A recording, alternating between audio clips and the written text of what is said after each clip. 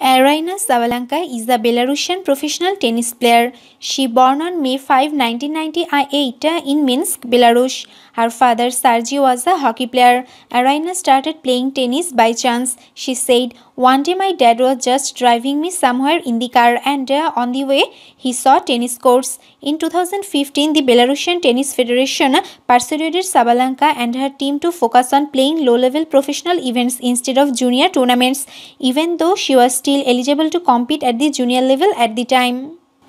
Sabalenka has a very aggressive style of play, often uh, accumulating high numbers of uh, winners and uh, unforced errors. With her height, she has also a very strong serve.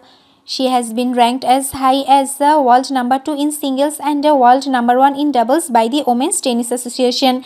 She has won two Grand Slam doubles title, the 2019 US Open and the 2021 Australian Open alongside Elise Mertens.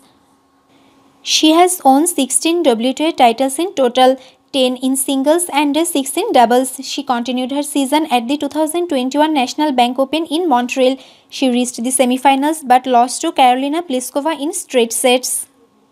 She has studied at the Belarusian State University in a sports-related program. Sabalenka's best result in singles at the Grand Slam tournaments came at the 2021 Wimbledon Championships and 2021 US Open, where she reached the semifinals. She finished both 2018 and 2019 ranked number 11 in the world in singles. Sabalenka also began playing doubles regularly in 2019. With Mertens as her partner, she completed the Sunshine Double by winning the two premier mandatory tournaments in March, the Indian Wells Open and the Miami Open. After the US Open doubles title later in the year, she also qualified for the WTA finals for the first time. Sabalenka was relatively unknown until 2017 when she rose to prominence by leading the Belarus Fed Cup team to a runner-up finish with Alexandra Sankovic, despite both of them being ranked outside the top 75 at the time.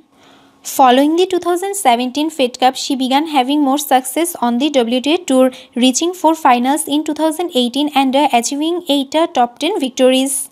She continued to excel in singles in 2019 with three titles in China, highlighted by a defense of her Wuhan Open title at the Premier 5 level and by winning the WTA Elite Trophy at the end of the year. Sabalenka began playing on the ITF Women's Circuit in 2012, even before she competed on the ITF Junior Circuit. Her first five tournaments were in her hometown of Minsk and spread out over two years, but she did not win a main draw match in any of them. She won her first professional match at the very end of 2014 in Istanbul. In 2021, she won the title at the Madrid Open where she faced Ashleigh Barty in the championship match. It was a rematch of the 2021 Porsche Tennis Grand Prix final two weeks earlier as Sabalenka faced her vanquisher world number 1 Ash Barty. As a result of her fourth WTA 1000 title, she entered the top 5 rankings in singles at uh, world number 4.